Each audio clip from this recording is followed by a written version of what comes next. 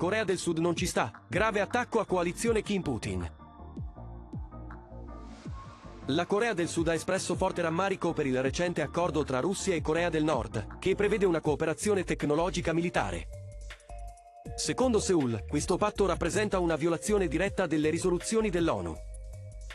Il Ministero degli Esteri sudcoreano, attraverso il portavoce Lim So-suk, ha manifestato preoccupazione per i risultati del vertice tenutosi mercoledì a Pyongyang tra il presidente russo Vladimir Putin e il leader nordcoreano Kim Jong-un. Il portavoce Lim So-suk ha dichiarato che la Corea del Sud risponderà severamente a qualsiasi azione che possa minacciare la propria sicurezza, collaborando con la comunità internazionale, compresi alleati e nazioni amiche.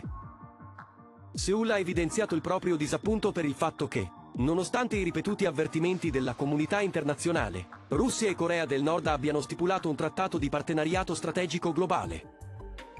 Menzionando apertamente la cooperazione tecnologica militare, violando così le risoluzioni del Consiglio di sicurezza delle Nazioni Unite.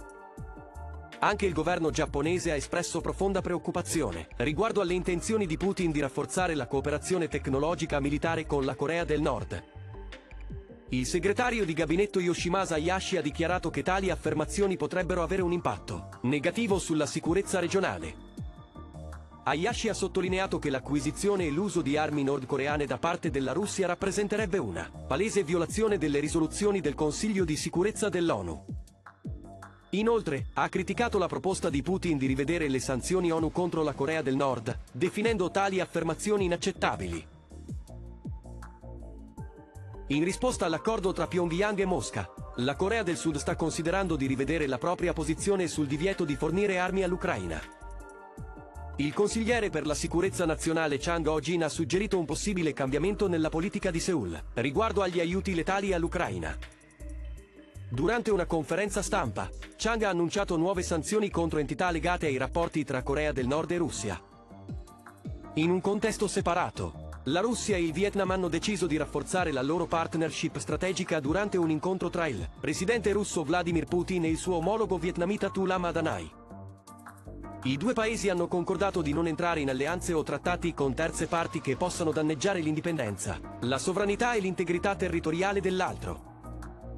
Al centro delle discussioni vi è stato lo sviluppo di progetti congiunti nel settore dell'energia, in particolare del gas, Cosa ne pensate? A voi i commenti.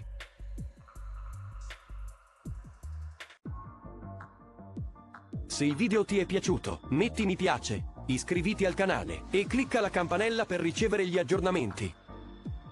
Grazie.